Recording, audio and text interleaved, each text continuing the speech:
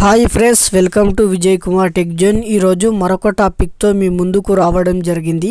ఇది చాలా important topic అనమాట టాపిక్ ఏంటంటే నాకు చాలామంది అడిగారు ఎవరెవరికి వికలాంగులకు బస్ పాస్ అనేది రావడం అనేది జరుగుతుంది మాకు ఫ్రీగానే బస్సులో ఎక్కడైనా తిరిగే అవకాశం ఉందా ఎవరెవరికి స్టూడెంట్స్కి ఏ విధంగా వస్తుంది పెద్ద మనుషులకు ఏ విధంగా వస్తుంది అని చాలామంది అనేది నాకు అడగడం అనేది జరిగింది.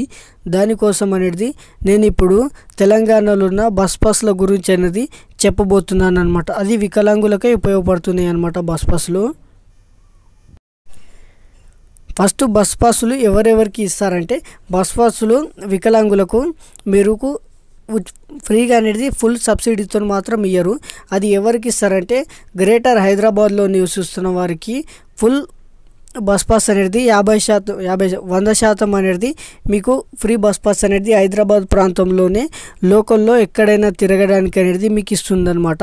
అది మీకు అక్కడ స్థిర నివాసం ఉంటున్న వారికి అక్కడ ఇక్కడ నుంచి వెళ్ళి అక్కడ ఉన్న వాళ్ళకు మాత్రం ఇవ్వదు ఇక్కడ ఇక్కడ తెలంగాణ స్టేట్లో ఉన్న వారికి మొత్తం అనేది యాభై శాతం అనేది సబ్సిడీ అంటే ఒక టికెట్ ధర ఐదు వందలు ఉందనుకోండి అందులో మీరు రెండు వందల యాభై రూపాయలు మాత్రమే పే చేయాలన్నమాట. ఆ విధంగా అనేది మీకు ఉండటం అనేది జరుగుతుంది. మీరు ఒకవేళ మీరు స్టూడెంట్స్ అనుకోండి స్టూడెంట్స్కు ఇక్కడ నుంచి హ్యాండిక్యాప్డ్ స్టూడెంట్ అక్కడ వెళ్ళి చదువుకుంటే మాత్రం మీకు అక్కడ ఫ్రీగా ఇవ్వడం అనేది జరుగుతుందన్నమాట అక్కడ.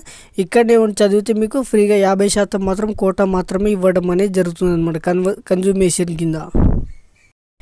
ఇప్పుడు ఆ బస్ పాస్కు ఏ విధంగా అప్లై చేసుకోవాలంటే మీరు ఫస్ట్ మీరు దానికి ఉండాల్సింది మీ యొక్క సదరం సర్టిఫికేట్ అనమాట మీకు సదరం సర్టిఫికేట్ ఖచ్చితంగా ఉండాలి. మ- మరియు సదరం యొక్క ఐడి కార్డు. అంటే ఒక మీకు సదరం సర్టిఫికేట్లు ఇస్తారు కదా ఒకటి పెద్ద సర్టిఫికేట్ ఒకటి చిన్న సర్టిఫికేట్ అని.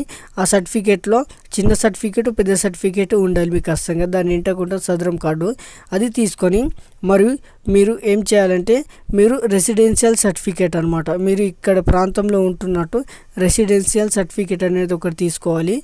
మరియు మీ యొక్క ఆధార్ కార్డు అనేది ఖచ్చితంగా ఆధార్ కార్డ్ తీసుకొని మీ దగ్గరలో ఉన్న డిపో. ఇప్పుడు ఆ బస్ పాసులు ఎక్కడ ఇస్తారంటే తెలంగాణ రాష్ట్రంలో ఎక్కడ ఇవ్వడానికి కుదరవు. కొన్ని ప్రాంతాల మాత్రమే ఇవ్వడం అనేది జరుగుతుంది. అవి ఏ ప్రాంతాల్లో ఇస్తారంటే ఫస్ట్ మీరు కోటి అనమాట కోటి దగ్గర ఇస్తారు. తర్వాత కాచిగూడ బస్ స్టాండ్ తర్వాత దిల్సుఖ్ నగర్. మీకు తెలిసే ఉంటుంది దిల్సుఖ్ నగర్. తర్వాత ఇమిలిబండ్ బస్ స్టాండ్. ఇంకోటి సికింద్రాబాద్ బస్ స్టాండ్లో కూడా ఈ సేవలను అనేది మనకు వారు అందజేయడం అనేది జరుగుతుందన్నమాట.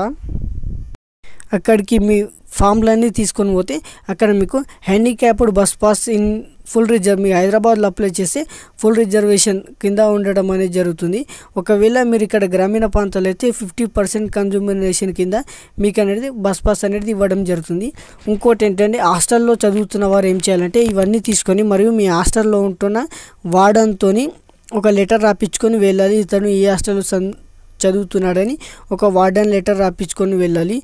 మరియు మీరు ఒకవేళ అక్కడ కాలేజీలో చదివితే బోనఫైడ్ లెటర్ మరి ఆ కాలేజ్ బోనాఫైడ్ మరియు వార్డన్ లెటర్ తీసుకెళ్తే మీకు అనేది బస్ పాస్ అనేది ఆన్లైన్లో అప్లై మీరు దీనికి కొత్త ఆప్షన్ కూడా రావడం జరిగింది. అక్కడ వెళ్ళకుండా ఆన్లైన్లో అప్లై చేసుకోవాలన్నమాట. అప్లై చేసుకున్న తర్వాత ఈ ఫామ్ అన్నీ తీసుకొని అక్కడ మీకు వెరిఫికేషన్కి వెళ్తే అక్కడ మీకు అనేది ఈ పాస్ అనేది ఇవ్వటం అనేది జరుగుతుంది. ఒకవేళ ఎవరైనా నా కింద కామెంట్ సెక్షన్లో చేస్తే నేను ఖచ్చితంగా వారికి ఆన్లైన్లో అప్లై చేయడం అనేది ఏ విధంగా ఉంటుందో ఖచ్చితంగా చూపిస్తాను. ఏం చేయాలంటే